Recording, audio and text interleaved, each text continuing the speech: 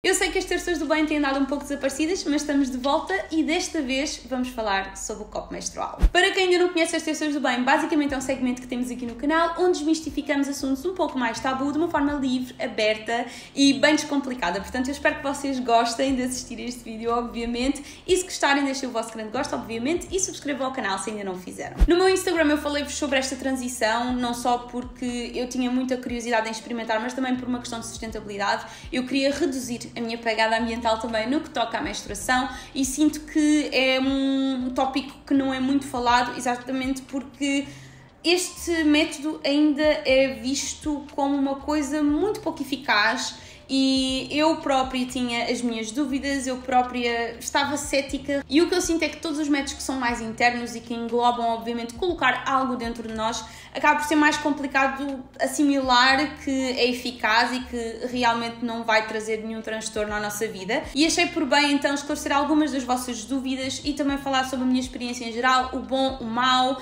aquilo que eu mais gosto neste método, que eu menos gosto e realmente falamos aqui de uma forma bem aberta e descontraída sobre este assunto. Para quem ainda não conhece o copo menstrual e está habituado a tampões, a pensos, eu vou-vos explicar muito resumidamente o que é que é. Basicamente é um copo assim em silicone, muito maleável como vocês podem ver. Ele é hipoalergénico, portanto é top, principalmente para pessoas como eu que têm alergias a tudo e a todos. Por isso uh, ele é incrível porque é realmente muito maleável, muito confortável e permite então que a vossa menstruação acumule aqui versus ser num tampão ou num penso como usualmente estamos habituados. Quando eu olhei para o copo eu sinto que a primeira dúvida que eu tive foi será que a minha menstruação vai caber toda aqui? Ou seja, será que eu não vou ter que retirar o copo de uma em uma hora? Será que isto realmente vai ser um método eficaz, que não vai ser uh, pouco higiênico? Também foi uma das minhas grandes preocupações e realmente existem aqui alguns pontos que eu não estava nada à espera que fossem tão revolucionários na minha vida, mas foram. E a primeira coisa é que a nossa menstruação parece que é imensa insana, mas na verdade, se nós formos quantificar isso num copinho, eu posso vos dizer que já utilizei 12 horas seguidas este copo, que é o máximo de tempo que podem utilizar sem retirar, e é incrível que eu achava que tinha muito fluxo, eu achava que tinha muita menstruação e na verdade eu enchi o copo no máximo até a meio. Portanto, é uma concepção que nós temos na nossa cabeça porque normalmente quando nos sujamos ou até mesmo quando temos um tampão, o que acontece é que Obviamente, o nível da absorção de um tampão não vai ser igual a ter um recipiente para que o líquido caia. E o penso é exatamente a mesma coisa, não só absorve o produto e, obviamente, tem um nível de absorção uh, versus um copo que o líquido cai e fica aqui dentro, mas também, para além disso, obviamente, temos o outro lado que é o facto dele se movimentar. E eu muitas das vezes, sou-vos sincera, eu não uh, utilizava muito tampão, eu tentava evitar ao máximo por causa dos choques tóxicos. É uma coisa que realmente me preocupa e eu já tive uma septicemia, portanto uh, não quero ter outra. E é uma coisa que eu tento mesmo evitar ao máximo, é utilizar tampões. E por isso os pensos sempre foram o meu método mais utilizado, mas o que eu sentia era exatamente isso. Mesmo utilizando aqueles pensos com abas, o que acontecia é que a meio do dia, muitas das vezes, se eu mexesse muito ou o penso saísse um bocadinho fora do sítio, lá estava Inês Rochinha com as suas calças sujas. E derivado a isto, decidi então dar uma oportunidade ao copo menstrual. E uma das coisas que eu realmente estava mais preocupada era exatamente essa questão de me sujar e se o copo ia ficar certinho, se eu ia senti-lo muito ou não.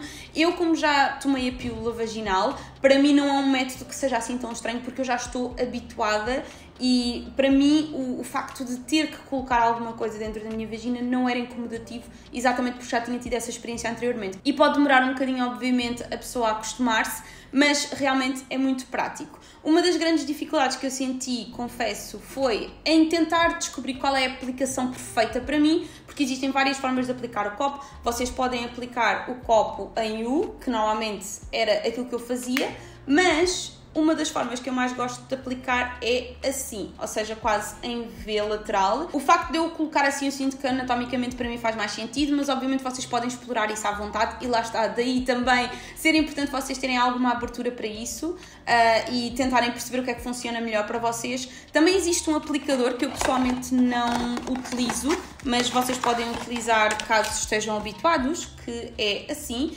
Eu, aliás, utilizo este hum, copo vaginal que é da Ana Cycle e veio assim este kitzinho em que traz um aplicador, traz também este copo esterilizador que dá para vocês não só levarem o vosso copo para algum lado, mas também a nível de limpeza é super prático. Se quiserem uma forma mais simples, basta utilizarem este copo, colocam aqui o vosso copo menstrual, obviamente, e aquilo que eu gosto de fazer é colocar não só água, mas também um gel uh, íntimo que eu tenho da Durex que eu adoro, que é um gel calmante. E uma das coisas que eu também sinto ao lavar com o gel é que o gel tem alguma lubrificação para também devolver o pH natural uh, da vagina e, portanto, acaba por lubrificar ligeiramente o copo, o que acaba também por ser mais fácil de colocar Uh, depois posteriormente ele estar lavado. Uma das coisas que eu pessoalmente sinto que é a parte mais incómoda do copo é mesmo em situações de casa bem pública, eu não vou mentir, acho que é um bocadinho chato nós termos que retirar o copo, mas isso é uma questão de gestão pessoal, ok? Uma das coisas que eu percebi é se o copo dá para manter até 12 horas, se eu for numa situação em que vou a um restaurante jantar ou que vou estar fora de casa durante algum tempo, eu tenho o cuidado antes de sair de casa de fazer este processo de lavar o copo, de pôr tudo impecável e depois colocar, se precisar de ir à casa de banho, não tem qualquer tipo de incómodo. O copo é super confortável, vocês nem dão conta que estão a utilizar se for bem colocado, obviamente. Eu, no meu caso, sempre me aconteceu ficar bem colocado, nunca senti desconforto e acho que também é uma questão de lá estar vocês só verem como é que a colocação é mais conveniente para vocês. E sinceramente, eu passei, como vos disse, 12 horas sem retirar o copo, que é o, o, tempo máximo que vocês devem manter o copo, e realmente é super conveniente e não é de todo incomodativo. E dá para vocês, lá está, utilizarem a casa de banho fazerem aquilo que têm a fazer e depois, obviamente, quando chegarem a casa, retirarem então o copo e na comodidade da vossa casa fazerem a limpeza e a esterilização. Obviamente, se existir essa preocupação em que vocês estejam numa casa de banho pública, o que eu aconselho é levar sempre este tipo de copinho e assim, quando vocês uh, saírem da casa de banho, fazerem a limpeza muito rapidamente e voltarem a colocar. Portanto, eu acho que, sinceramente, nestas ocasiões, então, este copo esterilizador faz realmente muito sentido. Outras dificuldades relativamente à minha experiência. A primeira foi tentar perceber também como é que eu posso retirar o copo de uma forma a que eu não sinta a pressão do vácuo, porque muitas das vezes, e eu também uh, vi muitos testemunhos quando partilhei a minha experiência, de pessoas que realmente quando retiram o copo dizem que é incomodativo. Eu também passei por isso, também acho que é, mas é uma forma de vocês também lerem as instruções, que é uma coisa que nós, tugas, temos assim por veia de veia não fazer, não é? Nós constantemente utilizamos as coisas e achamos sempre como utilizá-las corretamente, mas na verdade faz toda a diferença ler o manual de instruções. Por isso, tal como nós, quando colocamos o copo, colocamos assim dobradinho, nós quando retiramos o copo não o podemos retirar assim nós temos que pressionar ligeiramente o copo. E a sério, não sintam receio de apertar o copo, porque muitas das vezes as pessoas pensam se eu apertar demasiado o copo, depois o sangue vai para todo lado. Mas verdade seja dita, como o que acontece é que isto faz vácuo quando vocês puxam mesmo que vocês libertem e que saia alguma coisa, vocês estão sentadas na sanita. Portanto, qualquer coisa que caia está seguro e vocês não se vão sujar. Aliás, a consistência do nosso sangue é quase como se fosse um gel, portanto, ela não sai totalmente líquida como nós achamos, o que é muito interessante. Eu, pelo menos no meu caso, é isso que acontece e, portanto, é uma coisa quase espessa e por isso não existe esse salpicar que nós sentimos que vai acontecer. Por isso, vocês pressionam e uma coisa que o meu copo pessoalmente tem e que eu adoro é esta, este fiozinho, quase como se fosse um tampão. Há alguns copos que não têm, portanto vocês têm mesmo que colocar os dedos e puxar assim e retirar. E o meu, como tem este cordel, o que eu faço é puxar ligeiramente o cordel e quando sentir que a pontinha aqui do meu copo menstrual já está de fora, eu venho aqui, ligeiramente pressiono e retiro o copo. E essa sensação do vácuo, de vocês sentirem mesmo que o vácuo está a deixar de existir, um, vocês já não sentem assim incómodo. E é realmente uma questão de vocês irem, irem testando, tentarem perceber o que é que realmente funciona para vocês. E eu sei que estou a tocar muito neste ponto do que é que funciona para mim, mas verdade seja dita, todos nós anatomicamente somos diferentes, temos sensações diferentes, sensibilidades diferentes e, portanto, é super importante vocês também conhecerem o vosso corpo e perceberem o que é que resulta melhor para vocês. Por isso, para mim, foi sem dúvida estes dois pontos mais fracos no copo, que é a questão de retirar ter esta atenção e obviamente é uma questão de prática e de vocês perceberem o que é que funciona melhor para vocês e também a questão da casa de banho pública e de não estarmos em casa. Portanto, são coisas que nós facilmente conseguimos gerir, tal como também existe nos métodos mais comuns, por exemplo, o tampão. Se nós não temos um tampão na carteira é super chato porque temos que andar a pedir ou tentar perceber como é que vamos retirar o tampão sem nos sujarmos e depois não temos outro método. E realmente uma das coisas que eu mais adoro, por exemplo, no copo é exatamente isso. Vocês não dependem de absolutamente nada. Se vocês têm o copo colocado, vocês em qualquer momento vazam, lavam e voltam a aplicar e não precisam de estar constantemente com pensos atrás ou tampões e acaba por ser um método muito independente, sabem? Vocês sentem-se muito independentes porque vão se sentir sempre que nunca vão estar dependentes de outro aplicador, de outro tampão, de outro penso e podem sempre utilizar o método que estão a utilizar efetivamente no momento. Por isso, para mim, a nível de praticidade, realmente o copo vence nesse ponto.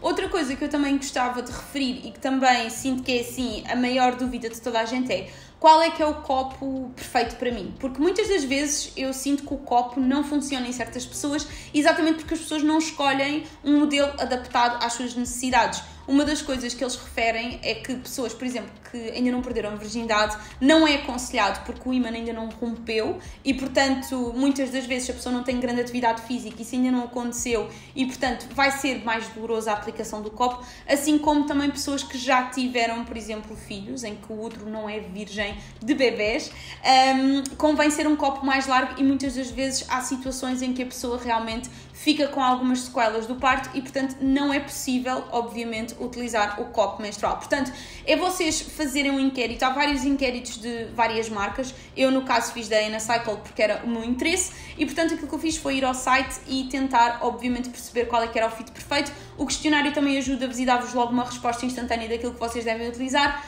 Eu, no meu caso, é o S, derivado não só à minha atividade física, como também o facto de nunca ter tido bebés e também de já não ser virgem, obviamente. E eu sou sincera, inicialmente eu até tinha algum receio porque achei o copo muito pequenino e pensei, ok, eu vou-me sujar a cada duas horas ou a cada uma hora e vou ter que andar sempre a retirar, mas verdade seja dita, é realmente revolucionário. E quando vocês começam a perceber a quantidade de fluxo que vocês realmente têm é uh, realmente assim mind-blowing porque nós achamos sempre que a menstruação é sempre um bicho de sete cabeças e sinceramente o copo menstrual veio também desmistificar um bocadinho essas coisas na minha cabeça porque pode ser bastante confortável até retiro duas vezes o copo ao dia e estou simplesmente super confortável e sem dramas nenhums por isso, quando a minha amiga dizia que era revolucionário, eu agora consigo perceber o porquê.